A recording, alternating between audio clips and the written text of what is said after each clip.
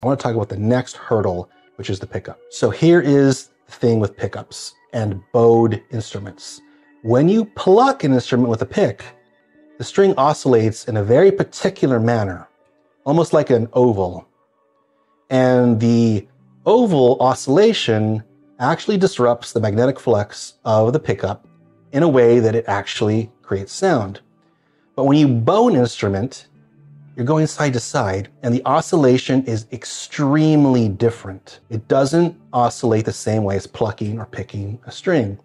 And when you do this, the oscillation is so different that it produces a weak signal for any magnetic pickup. So to overcome this, there are really smart people like Ned Steinberger, who actually builds electric cellos, who patented a pickup that picks up the string's oscillation from the side, which is what you need to do for a bowed instrument. You can't pick up the, the bowed string from the bottom like a traditional guitar. So he patented that pickup. I did as much research as I could, and I could not find a way to reproduce it. There's just no information. So all I did to overcome this issue was put in an extremely hot pickup. This is the hottest passive single coil you can get on the market. It's one of those rail pickups. I don't remember the brand or what. I just remember looking for the absolutely hottest one. And that is sort of doing the job. You also need to run a lot of gain on your amp.